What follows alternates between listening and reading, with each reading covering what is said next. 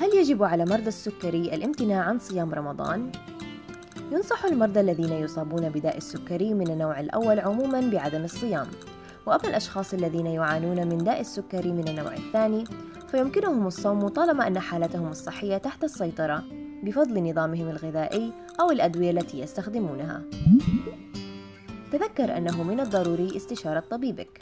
ويجب على مرضى السكري الاهتمام بكمية الطعام الذي يتناولونه على وجبة الإفطار. وينصح أن يباشروا وجبة الإفطار بمصدر غني بالألياف مثل الحساء أو السلطة.